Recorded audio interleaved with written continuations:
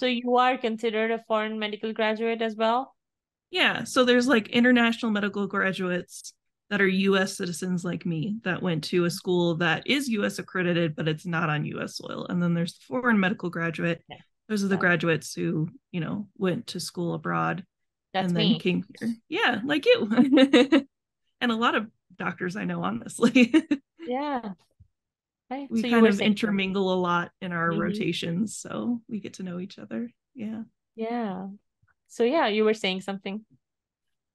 Oh yeah, so I uh, went through my rotations. I went to my first two years in Dominica. I learned a lot about the people on the island. I went to a lot of clinics on the island, which was a really cool experience. Um, and then I went to the US for my clerkship rotations. So that means I'm rotating through all the different subspecialties to see what I'm interested in. Um, and then uh, I graduated from medical school and I started working as a clinical documentation specialist. Um, I started before then kind of as a scribe, kind of jumping around from job to job, but I settled into being a clinical documentation specialist after I graduated. Awesome. So tell us what a clinical documentation specialist does. Yeah. A lot of people have no idea. That's kind of the first yeah. question I get. And a lot of doctors don't really know either.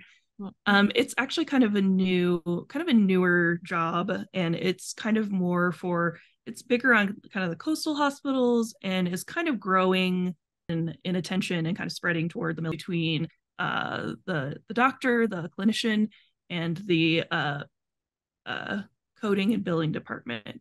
Uh, yeah, so we're the middleman between essentially the doctor and the coder. So the coders kind of have their own coding language, and the doctors have their clinical language.